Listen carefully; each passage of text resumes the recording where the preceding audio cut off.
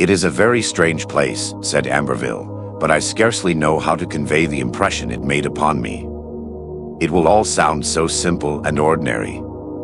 There is nothing but a sedgy meadow, surrounded on three sides by slopes of yellow pine. A dreary little stream flows in from the open end to lose itself in a cul-de-sac of cattails and boggy ground. The stream, running slowly and more slowly, forms a stagnant pool of some extent from which several sickly-looking alders seem to fling themselves backwards, as if unwilling to approach it. A dead willow leans above the pool, tangling its wan, skeleton-like reflection with the green scum that mottles the water. There are no blackbirds, no kildees, no dragonflies even, such as one usually finds in a place of that sort. It is all silent and desolate. The spot is evil, it is unholy in a way that I simply can't describe. I was compelled to make a drawing of it, almost against my will, since anything so outre is hardly in my line. In fact, I made two drawings. I'll show them to you, if you like. Since I had a high opinion of Amberville's artistic abilities and had long considered him one of the foremost landscape painters of his generation, I was naturally eager to see the drawings. He, however, did not even pause to await my avowal of interest, but began at once to open his portfolio. His facial expression, the very movements of his hands, were somehow eloquent of a strange mixture of compulsion and repugnance as he brought out and displayed the two watercolor sketches he had mentioned. I could not recognize the scene depicted from either of them. Plainly it was one that I had missed in my desultory rambling about the foothill environs of the tiny hamlet of Bowman, where, two years before, I had purchased an uncultivated ranch and had retired for the privacy so essential to prolonged literary effort. Francis Amberville, in the one fortnight of his visit, through his flair for the pictorial potentialities of landscape, had doubtless grown more familiar with the neighborhood than I. It had been his habit to roam about in the forenoon, armed with sketching materials, and in this way he had already found the theme of more than one lovely painting. The arrangement was mutually convenient, since I, in his absence, was wont to apply myself assiduously to an antique Remington typewriter. I examined the drawings attentively. Both, though of hurried execution, were highly meritorious and showed the characteristic grace and vigor of Amberville's style. And yet, even at first glance, I found a quality that was more alien to the spirit of his work. The elements of the scene were those he had described. In one picture, the pool was half hidden by a fringe of mace, weeds, and the dead willow was leaning across it at a prone, despondent angle, as if mysteriously arrested in its fall towards the stagnant waters.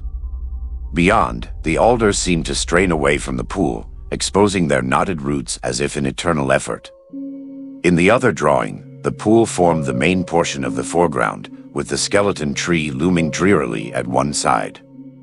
At the water's farther end, the cattails seemed to wave and whisper among themselves in a dying wind, and the steeply barring slope of pine at the meadow's terminus was indicated as a wall of gloomy green that closed in the picture, leaving only a pale of autumnal sky at the top. All this, as the painter had said, was ordinary enough. But I was impressed immediately by a profound horror that lurked in these simple elements and was expressed by them as if by the balefully contorted features of some demoniac face. In both drawings, this sinister character was equally evident, as if the same face had been shown in profile and front view. I could not trace the separate details that composed the impressions, but ever, as I looked, the abomination of a strange evil, a spirit of despair, malignity, desolation, leered from the drawing more openly and hatefully. The spot seemed to wear a macabre and satanic grimace. One felt that it might speak aloud, might utter the imprecations of some gigantic devil, or the raucous derision of a thousand birds of ill omen. The evil conveyed was something wholly outside of humanity, more ancient than man. Somehow, fantastic as this will seem, the meadow had the air of a vampire, grown old and hideous with unutterable infamies. Subtly, indefinably, it thirsted for other things than the sluggish trickle of water by which it was fed. Where is the place? I asked, after a minute or two of silent inspection. It was incredible that anything of the sort could really exist, and equally incredible that a nature so robust as Amberville should have been sensitive to its quality. It's in the bottom of that abandoned ranch, a mile or less down the little road towards Bear River, he replied. You must know it. There's a small orchard about the house, on the upper hillside, but the lower portion, ending in that meadow, is all wild land. I began to visualize the vicinity in question. Guess it must be the old Chapman place, I decided. No other ranch along that road would answer your specifications. Well, whoever it belongs to, that meadow is the most horrible spot that I have ever encountered. I've known other landscapes that had something wrong with them, but never anything Leah this. Maybe it's haunted, I said, half in jest. From your description, it must be the very meadow where old Chapman was found dead one morning by his youngest daughter. It happened a few months after I moved here. He was supposed to have died of heart failure. His body was quite cold, and he had probably been lying there all night, since the family had missed him at supper time. I don't remember him very clearly, but I remember that he had a reputation for eccentricity. For some time before his death, people thought he was going mad. I forget the details, anyway, his wife and children left, not long after he died, and no one has occupied the house or cultivated the orchard since. It was a commonplace rural tragedy. I'm not much of a believer in spooks, observed Amberville, who seemed to have taken my suggestion of haunting in a literal sense. Whatever the influence is, it's hardly of human origin, come to think of it, though, I received a very silly impression once or twice, the idea that someone was watching me while I did those drawings. Queer, I had almost forgotten that, till you brought up the possibility of haunting. I seemed to see him out of the tail of my eye, just beyond the radius that I was putting into the picture, a dilapidated old scoundrel with dirty gray whiskers and an evil scowl. It's odd, too, that I should have gotten such a definite conception of him without ever seeing him squarely. I thought it was a tramp who had strayed into the meadow bottom. But when I turned to give him a level glance, he simply wasn't there. It was as if he melted into the miry ground, the cattails, the sedges. That isn't a bad description of Chapman, I said. I remember his whiskers. They were almost white, except for the tobacco juice. A battered antique, if there ever was one, and very unamiable, too. He had a poisonous glance towards the end, which no doubt helped along the legend of his insanity. Some of the tales about him come back to me now. People said that he neglected the care of his orchard more and more. Visitors used to find him in that lower meadow, standing idly about and staring vacantly at the trees and water. Probably that was one reason they thought he was losing his mind. But I'm sure I never heard that there was anything unusual or queer about the meadow, either at the time of Chapman's death or since. It's a lonely spot, and I don't imagine that anyone ever goes there now. I stumbled on it quite by accident, said Amberville. The place isn't visible from the road, on account of the thick pines. But there's another odd thing. I went out this morning with a strong and clear intuition that I might find something of uncommon interest. I made a beeline for the meadow, so to speak, and I'll have to admit that the intuition justified itself. The place repels me, but it fascinates me, too. I've simply got to solve the mystery, if it has a solution, he added, with a slightly defensive air. I'm going back early tomorrow, with my oils, to start a real painting of it. I was surprised, knowing that predilection of Amberville for scenic brilliance and gaiety which had caused him to be likened to Sorolla. The painting will be a novelty for you, I commented. I'll have to come and take a look at the place myself, before long. It should really be more in my line than yours. There ought to be a weird story in it somewhere, if it lives up to your drawings and description. Several days passed. I was deeply preoccupied, at the time with the toilsome and intricate problems offered by the concluding chapters of a new novel, and I put off my proposed visit to the meadow discovered by Amberville. My friend, on his part, was evidently engrossed by his new theme. He sallied forth each morning with his easel and oil colors, and returned later each day, forgetful of the luncheon hour that had formerly brought him back from such expeditions. On the third day, he did not reappear till sunset. Contrary to his custom, he did not show me what he had done, and his answers to my queries regarding the progress of the picture were somewhat vague and evasive. For some reason, he was unwilling to talk about it. Also, he was apparently loath to discuss the meadow itself, and in answer to direct questions, merely reiterated in an absent and perfunctory manner the account he had given me following his discovery of the place. In some mysterious way that I could not define, his attitude seemed to have changed. There were other changes, too. He seemed to have lost his usual bitterness. Often I caught him frowning intently, and surprised the lurking of some equivocal shadow in his frank eyes. There was a moodiness, a morbidity, which, as far as our five years' friendship enabled me to observe, was a new aspect of his temperament. Perhaps, if I had not been so preoccupied with my own difficulties, I might have wondered more as to the causation of his gloom, which I attributed readily enough at first to some technical dilemma that was baffling him. He was less and less the Amberville that I knew, and on the fourth day, when he came back at twilight, I perceived an actual surliness that was quite foreign to his nature. What's wrong? I ventured to inquire. Have you struck a snag? Or is old Chapman's meadow getting on your nerves with its ghostly influences?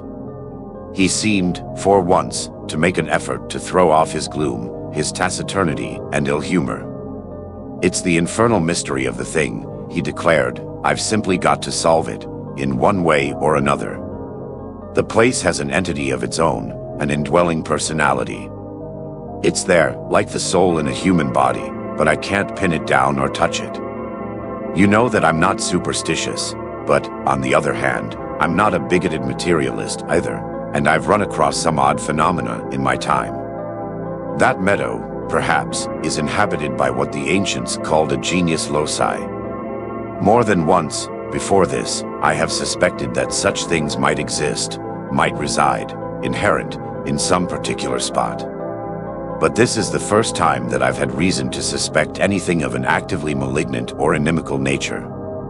The other influences, whose presence I have felt, were benign in some large, vague, impersonal way, or were else wholly indifferent to human welfare, perhaps oblivious of human existence.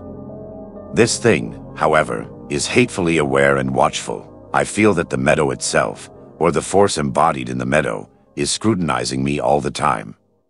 The place has the air of a thirsty vampire, waiting to drink me in somehow, if it can. It is a cul-de-sac of everything evil, in which an unwary soul might well be caught and absorbed. But I tell you, Murray, I can't keep away from it. It looks as if the place were getting you. I said, thoroughly astonished by his extraordinary declaration and by the air of fearful, morbid conviction with which he uttered it. Apparently he had not heard me, for he made no reply to my observation. There's another angle, he went on, with a feverish intensity in his voice. You remember my impression of an old man lurking in the background and watching me, on my first visit. Well, I have seen him again, many times, out of the corner of my eye, and during the last two days, he has appeared more directly, though in a queer, partial way. Sometimes, when I am studying the dead willow very intently, I see his scowling, filthy bearded face as a part of the whole. Then, again, it will float among the leafless twigs, as if it had been caught there. Sometimes a knotty hand, a tattered coat sleeve, will emerge through the mantling in the pool, as if a drowned body were rising to the surface. Then, a moment later, or simultaneously, there will be some thing of him among the alders or the cattails. These apparitions are always brief, and when I try to scrutinize them closely, they melt like films of vapor into the surrounding scene. But the old scoundrel, whoever or whatever he may be, is a sort of fixture. He is no less vile than everything else about the place, though I feel that he isn't the main element of the vileness. Good Lord. I exclaimed. You certainly have been seeing things. If you don't mind, I'll come down and join you for a while, tomorrow afternoon. the mystery begins to inveigle me. Of course I don't mind, come ahead. His manner, all at once, for no tangible reason, had resumed the unnatural taciturnity of the past four days. He gave me a furtive look that was sullen and almost unfriendly. It was as if an obscure barrier, temporarily laid aside, had again risen between us. The shadows of his strange mood returned upon him visibly, and my efforts to continue the conversation were rewarded only by half-surly, half-absent monosyllables. Feeling an aroused concern, rather than any offense, I began to note, for the first time, the unwanted pallor of his face and the bright, febrile luster of his eyes. He looked vaguely unwell, I thought, as if something of his exuberant vitality had gone out of him and had left in its place an alien energy of doubtful and less healthy nature. Tacitly, I gave up any attempt to bring him back from the secretive twilight into which he had withdrawn. For the rest of the evening, I pretended to read a novel, while Amberville maintained his singular abstraction. Somewhat inconclusively, I puzzled over the matter till bedtime. I made up my mind, however, that I would visit Chapman's Meadow. I did not believe in the supernatural, but it seemed apparent that the place was exerting a deleterious influence upon Amberville. The next morning, when I arose, my Chinese servant informed me that the painter had already breakfasted and had gone out with his easel and colors. This further proof of his obsession troubled me, but I applied myself rigorously to a forenoon of writing. Immediately after luncheon, I drove down the highway, followed the narrow dirt road that branched off towards Bear River, and left my car on the pine thick hill above the old Chapman place. Though I had never visited the meadow, I had a pretty clear idea of its location. Disregarding the grassy, half-obliterated road into the upper portion of the property, I struck down through the woods into the little blind valley, seeing more than once, on the opposite slope, the dying orchard of pear and apple trees, and the tumble-down shanty that had belonged to the Chapmans. It was a warm October day, and the serene solitude of the forest, the autumnal softness of light and air, made the idea of anything malign or sinister seem impossible. When I came to the meadow bottom, I was ready to laugh at Amberville's notions, and the place itself, at first sight, merely impressed me as being rather dreary and dismal. The features of the scene were those that he had described so clearly, but I could not find the open evil that had leered from the pool, the willow, the alders, and the cattails in his drawings. Amberville, with his back towards me, was seated on a folding stool before his easel, which he had placed among the plots of dark green wiregrass in the open ground above the pool. He did not seem to be working, however, but was staring intently at the scene beyond him, while a loaded brush drooped idly in his fingers. The sedges deadened my footfalls, and he did not hear me as I drew near. With much curiosity, I peered over his shoulder at the large canvas on which he had been engaged. As far as I could tell, the picture had already been carried to a consummate degree of technical perfection. It was an almost photographic rendering of the scummy water, the whitish skeleton of the leaning willow, the unhealthy, half-disrooted alders, and the cluster of nodding mace reeds. But in it I found the macabre and demoniac spirit of the sketches, the meadow seemed to wait and watch like an evilly distorted face. It was a dead fall of malignity and despair, lying from the autumn world around it, a plague spot of nature, forever accursed and alone. Again I looked at the landscape itself, and saw that the spot was indeed as Amberville had depicted it. It wore the grimace of a mad vampire, hateful and alert. At the same time, I became disagreeably conscious of the unnatural silence. There were no birds, no insects, as the painter had said, and it seemed that only spent and dying winds could ever enter that depressed valley bottom. The thin stream that lost itself in the boggy ground was like a soul that went down to perdition. It was part of the mystery, too, for I could not remember any stream on the lower side of the Barring Hill that would indicate a subterranean outlet. Amberville's intentness and the very posture of his head and shoulders were like those of a man who has been mesmerized. I was about to make my presence known to him, but at that instant there came to me the apperception that we were not alone in the meadow. Just beyond the focus of my vision, a figure seemed to stand in a furtive attitude, as if watching us both. I whirled about and there was no one. Then I heard a startled cry from Amberville and turned to find him staring at me. His features wore a look of terror and surprise, which had not wholly erased a hypnotic absorption. My God, he said, I thought you were the old man. Hey, Stalker. Hope you enjoyed the video. Could trouble you, give a like and a sub, it really helps the cause. And since you're already here, why not watch the next video? Anyways, stay comfy. Cortisol is bad for you.